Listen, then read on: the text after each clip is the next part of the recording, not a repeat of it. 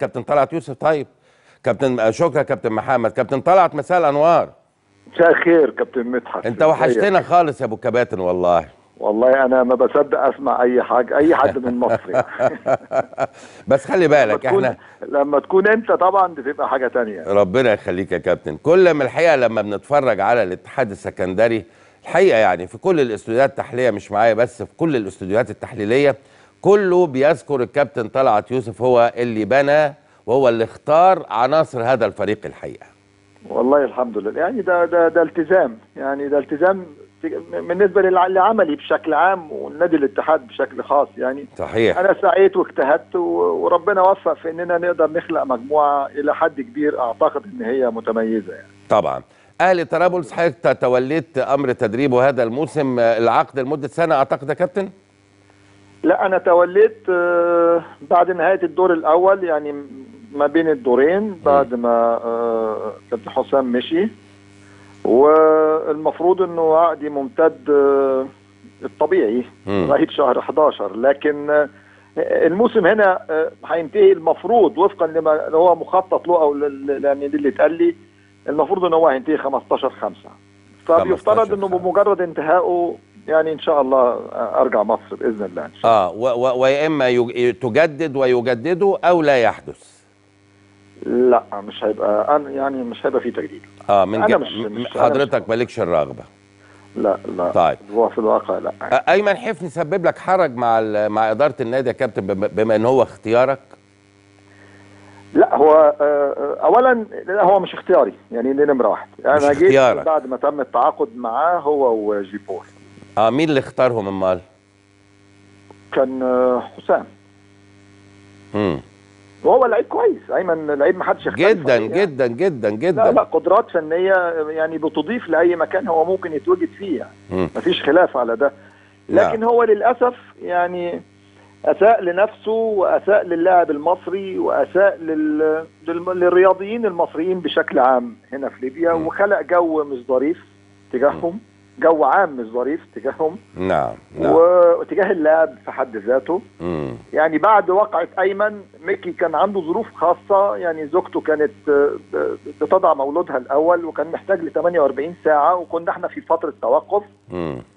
وللأسف آه، يعني حصل نوع من الاعتراض على سفره آه. بسبب وقعة أيمن. بس أنا تدخلت و- و- ولأن التركيبة والشخصية بتختلف يعني هناك من تثق فيه وهناك من تتخوف من تصرفاته. مم. فميكي من اللاعبين الملتزمين ومنضبط يعني حاجة تشرف يعني لاعب آه جدا يشرف. جدا جدا طيب يعني آه، كابتن آه، طلعت يعني هل هل اللاعب أيمن حفني قبض ال 150 ألف دولار و و ومتصور إن الأمر هيمشي كده ببساطة وما يلعبش وياخدهم ويعيش في القاهرة لغاية لما طلائع الجيش تتفاوض مع الأهلي أو مع الزمالك؟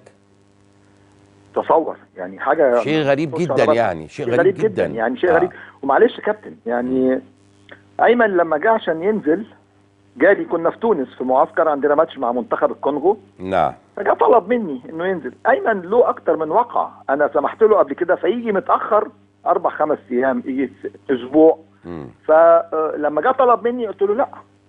لا مم. مفيش مجال لأن انت تنزل خالص يعني طبعا طبعا طبعا آه، إذا كنت عايز تروح تتفاوض مع النادي كمجلس إدارة ده شق تاني ولما أنا لما أسأل هقول لا ما ينزلش وده اللي حصل مم.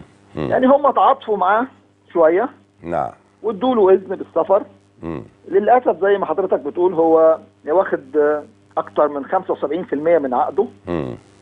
وصل ل 80% مم. ونزل وقفل تليفوناته ومش راجع مش عارف يعني هو متصور إيه؟ شيء غريب. النادي هنا. ابتدى ياخد النادي بعت لنادي الجيش. آه. آه، آه، خطاب رسمي. طبعا. يقول له إن اللاعب ما التزمش وإنه وإنه. مم. وإن إحنا هناخد إجراءاتنا لإيقافه. نعم. من خلال الاتحاد الدولي. وده إجراء ابتدوا يعملوه. مم. وبالتالي اللاعب هيوقف. وبالتالي نادي الجيش مش هيبقى مسموح له إنه يبيعه. بالظبط هيبقى ولا أهلي ولا. زمالك ولا غيره بقى خلاص. ولا حد خالص. واسمح لي يا كابتن مدحت. آه.